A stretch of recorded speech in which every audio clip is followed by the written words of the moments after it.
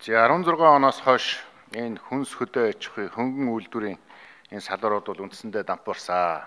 Ямар ч бодлогогүй энэний цаана олон мянган өрх, олон мянган аж ахуй нэгж олон мянган хүн бол байнга хохирсоор ядуурсаар ирсэ.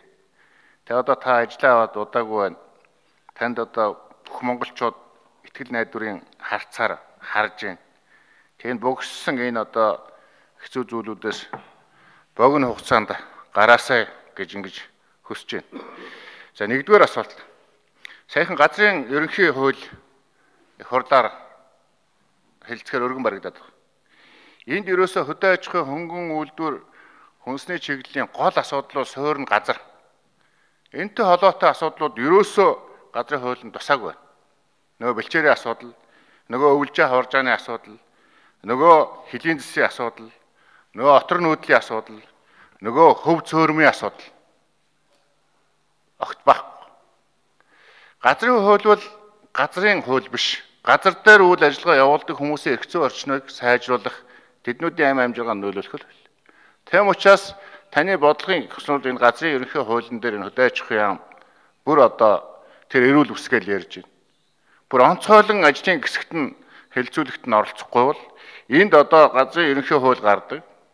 Энд одоо хөдөө аж ахуйн 188 мянган өрх нөгөө хүнсний нөгөө хөнгөн үйлдвэрийн салбарын асуудлууд бол огт орхигдсон байна лээ шүү гэдгийг хэлэх юм. Тэгээ энэ дээр одоо ямар асуудал хийх гэж байна гэдгийг хэлэх гэсэн. За дээр нь арь ширний үйлдвэрийг ярангуут нэг дархны үйлд аж үйлдвэрийн парк ярьдаг. Ийм биш шүү.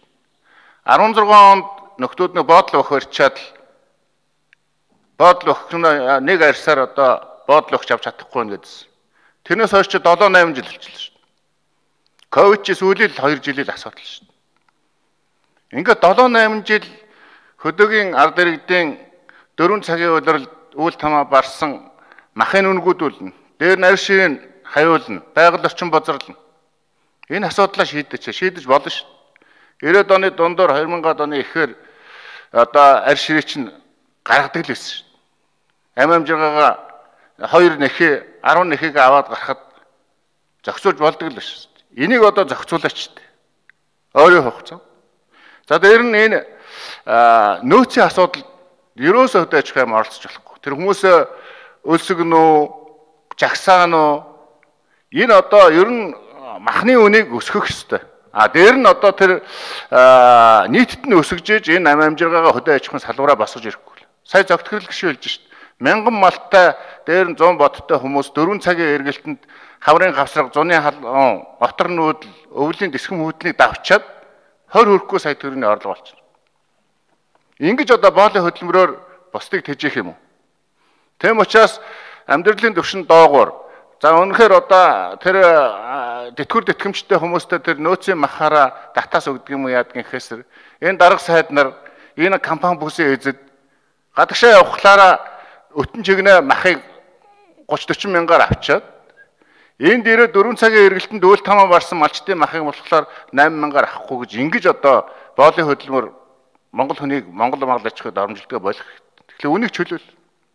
Ингээд одоо төв орон газрынхаа а ядарч ударч байгаа тэтгэр тэтгэмжтэй групптэй байгаа хүмүүсээ даралтны эмийг яадгүй таавхан маш өндөр үнэтэй бичээд өгдөг.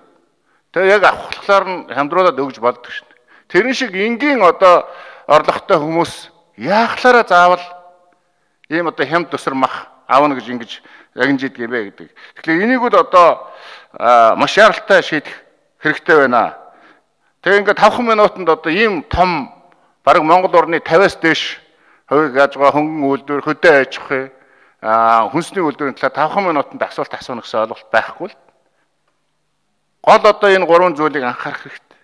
Тэгээ одоо тэр шүлхийн асуудал. Хятад шүлхийтэй маха бүгдийг хэрэгцээнд оруулдаг байсан. Манайхан хэдэн зуун тэрмар хөдөөш болдог. Тэрийн албан хаагчдыг чирэгдүүлдэг. Дээр нь тэмэн дээр ямаа ямаан дээр янганы гарц гаргадаг. Энэ асуудлаа болох хэрэгтэй. Хэрэгцээнд оруулдаг хэрэгтэй. Махныхаа экспортыг маш яралтай хийгээчтэй. 80 мянган тонн маха экспортлж исэн одоо 3 мянган тонн гэж ярьж байгаа хичмээр шүү. Нөгөө 180 мянган тонн мах экспортлныг амлаад байсан зүйлүүд юу болсон бэ?